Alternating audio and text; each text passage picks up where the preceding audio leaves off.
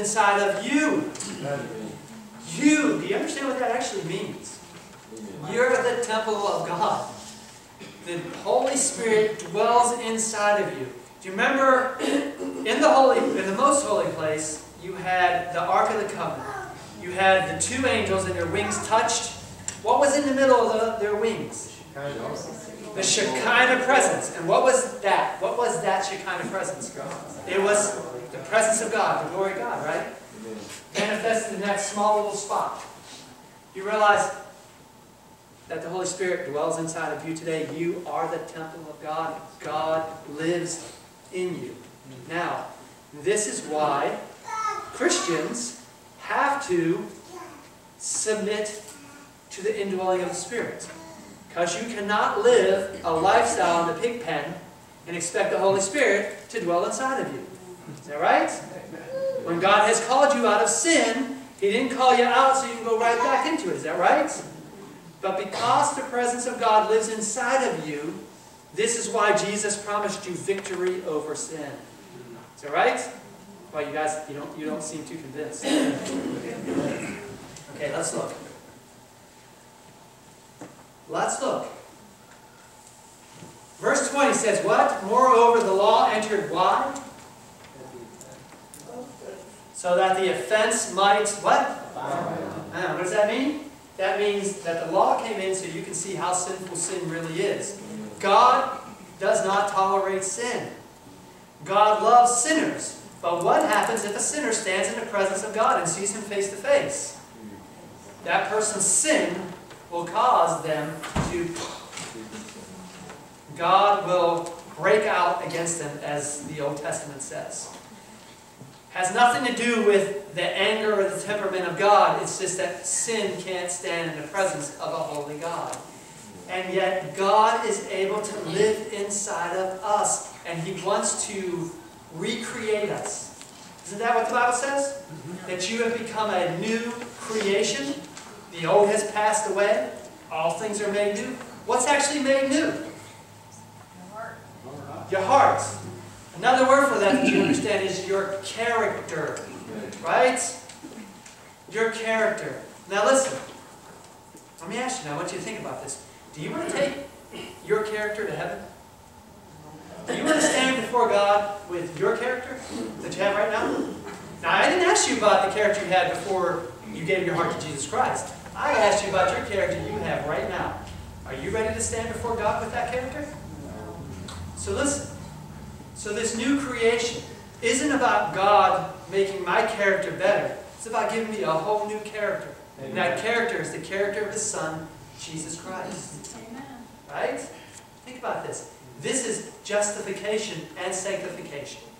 Justification allows God to work in my heart to put me in a right standing with God, that when He looks at me, He sees me as if I've never sinned. And because He sees me as if I have never sinned, then His reality will become reality. Mm-hmm. Because Jesus will now be made in my heart. And my character is no longer me, but it is Him. Let me ask you a question. What changed Peter from the guy who denied Jesus not once, not twice, but three times? And the last time was to a little girl who was standing right beside him at fire, to the man who, who preached a sermon and converted 3,000 people through the power of the Holy Spirit. What made that change? More love and Holy Spirit. He finally put away Peter and he became Jesus. Who was he preaching? Was he preaching Peter? No. Or was he preaching Jesus? What made Paul, the guy that was killing Christians, Saul, excuse me, into Paul? The guy who suffered so much and gave up his life and, and, and preached the gospel all the way to the end. What made that change? Because he got rid of himself and he was no longer Saul, but he became an ambassador for Jesus. Let me ask you a question. When people saw him and they accepted this God that he was talking about who was nailed to a cross, that was only for criminals and the basis of society. That's what happened to you. And you're saying that's your Savior? And to the Jews, it's like the Bible says anybody nailed to a tree is cursed of God. And that's your Savior? And Paul never wavered and never flinched in his faith in the preaching of Christ. Why? Because it was no longer Paul in his selfishness, but he became like Christ. Amen. This is what God does for us, brothers and sisters. So, let me, as we close, let me give you uh, some verses that you can meditate on when you go home. Patty mentioned this first one. Turn to John chapter 15, verse 5. John 15, verse 5. You know what that says?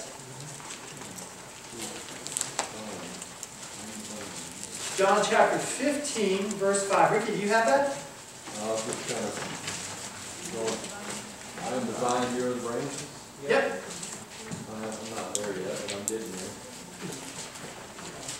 I am the vine, you are the branches, and my Father is the vine dresser. Every branch in me that does not bear fruit, he takes away, and every branch that bears fruit, he prunes, that it may bear fruit. You are already clean because of the world. Wait a minute, Because of the word. I'm sorry. Yes. I am the vine, you are the branches. He who abides in me and I in him bears much fruit, for without me you can do nothing. So what can you do without Jesus? Now, now what's he talking about here? See, because there are a lot of people in this world that have not accepted him, have rejected him. And they're able to drive a car. They're able to go to school. They can breathe in and out. They can live. What's he talking about here? Spiritual. Any, Spiritual, right? anything that will go through the fire. Listen, what he's talking about is being changed into his image and being made right in the sight of a holy God. You can do nothing without me. It has nothing to do with your works or your performance or what you do or don't do. It Doesn't have anything to do with what day you choose to go to church on. It Doesn't have anything to do with what you choose to eat and not to eat. How you are saved is through Jesus Christ and Him alone. The reason why we go to church on God's day is because the Word says so. And because we love God and what Christ has done for us, I want to please Him. I want to do what makes Him happy. Amen. And so I know that there are certain activities and behaviors that would make Him happy. Now, gentlemen, all those of you who are married, raise your hand if you like to please your wife. Everybody that's married better raise their hand. There you go. Now, how many of you deliberately go out of your way to do things that's going to upset her? Raise your hand. Anybody? Nobody brave enough to say, yeah, I do that. Okay, so listen. I didn't put my hand, she, No, she didn't. No, she didn't. No, there's another person I was laughing at in the back. Listen. Why do you go out of your way to please your spouse or to please those people you love? It's because you love them, right? Doesn't it work the same way with your God? Sure. It's pretty simple. Okay, here's a couple other verses for you. Turn to Ephesians chapter 2. Chance write this down. Ephesians chapter 2.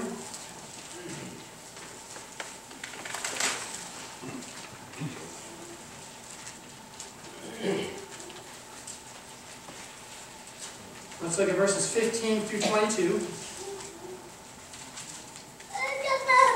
Having abolished in his flesh the enmity, that is, the law of commandments contained in ordinances, so as to create in himself one new man from the two, thus making, what's that word? Peace. Peace. And that he might reconcile, I want you to key on these words, peace and reconcile. That he might reconcile them both to God in one body through the cross, thereby putting to death the enmity. And he came and preached peace to you who are far off and to those who are near. For through him we both have access by one Spirit to the Father. Now therefore you are no longer strangers and foreigners, but fellow citizens with who? With the saints and the members of the household of God, having been built on the foundation of the apostles and prophets, Jesus Christ himself being the chief cornerstone, in whom the whole building being fitted together grows into a holy temple in the Lord. All that is saying is that to the Jew, to the Gentile, and if you're not a Jew, you're a Gentile, that we have been made one. There's no more separation between the two. And that we are one and we have access to God the Father through Jesus Christ His Son, and we have become part of God's household. We are children of God. Amen. As you leave here today, I want you to think about how much God loves you. He has done everything for you, and all He asks is that you love Him back. How does your children show you love? Is it by disobeying what you tell them to do? Or is it by doing what you tell them to do? By realizing that the liberty we give them is not license to do what displeases us. Do you guys ever remember, Linda, I saw your hand up, so hold on to that. Do you guys ever remember a time when you really hurt your mother? Yeah. And I mean, she didn't have to say anything to you, you just saw it in her eyes and her facial expression. You know that feeling? Where you just, now that you've become adults, has that turned around and have your kids really hurt you?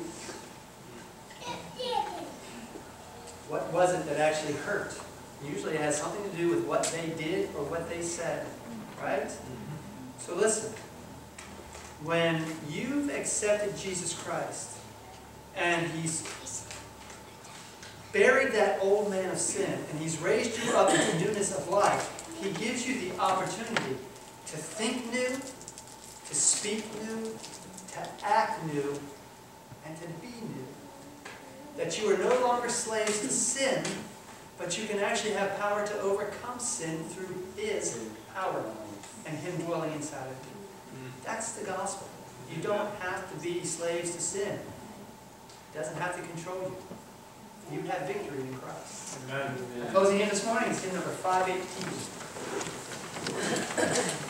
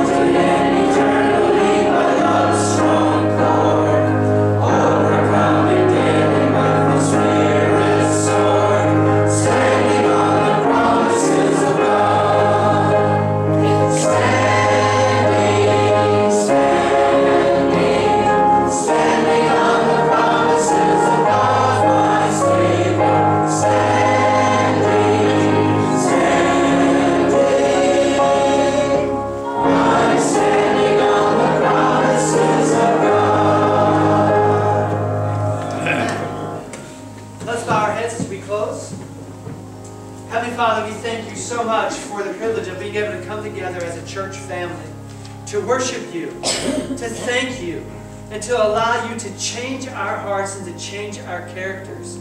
Father, I pray that as we leave here today, we will be built up in Christ and that we will have the strength to endure whatever comes this week. Father, whether we live, whether we die, we do all these things in Christ. And so we have a hope that this world cannot grasp nor understand. But Father, they're looking for something. And what they're looking for, we have if we have Jesus living in our hearts. Father, I pray that you will give us strength, that you will give us assurance of your love and your salvation, but most of all, assurance of your presence with us every day. And help us to truly be ambassadors for Jesus Christ as we continue to work for you. Father, I pray that your return in Jesus Christ will be soon, and that we will be ready, and that we will finally be able to go home.